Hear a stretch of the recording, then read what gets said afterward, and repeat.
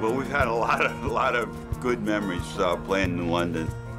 We have had some great games over the years, and uh, we were friends with the coaches from the London, but it was always very competitive. The things I remember the most about when I would call up Bill, it's pouring over in London. Maybe we ought to move the game till tomorrow.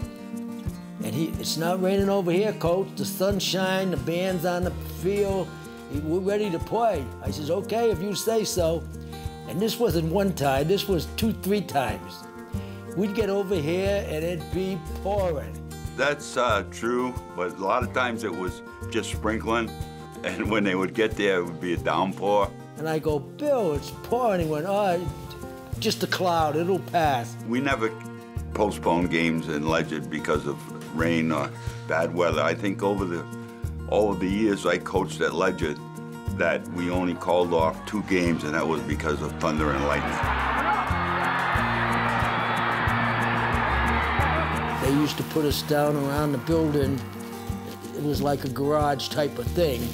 And as the water, if it rained hot enough, that uh, garage used to fill up. It was kind of wet down there. Unfortunately, Ledyard didn't have the locker room facilities for what I call first class operation, but the garage was heated. We had plenty of benches down there. We had chalkboards, anything they needed. Yeah, uh, Tommy Majors used to used to get get on us about it. Tommy Major getting the defensive team psyched up. They'd get the kids all pumped up. Oh, look at they put you guys in the garage. No respect and everything. And I'm trying to get things calm. Take it easy, fellas. We got to gain the guys screaming, holler. When they come out of that garage, I never seen a bunch of guys so fired up as they was. I told you, you don't want to get number one upset. So it was, it was a big game.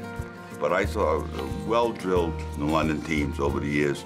And uh, Jimmy Buonocore, Sr., uh, did a fine job over there over the years. If I remember correctly, I think the record is Ledyard 16, London 14, or something like that. And uh, great games over the over the years.